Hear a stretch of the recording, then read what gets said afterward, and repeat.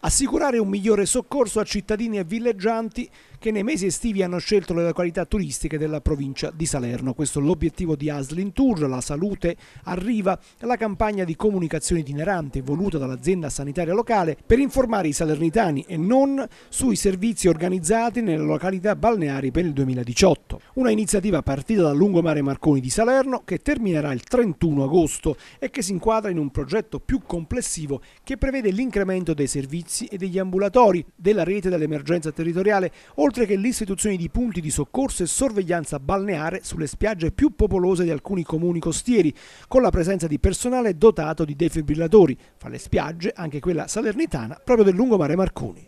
Non soltanto il camper, anche un'assistenza specifica giornaliera dalle 9 alle 18 sulle spiagge della costiera amalfitana e della costiera cilentana, di tutta la, la zona di Salerno, della provincia di Salerno.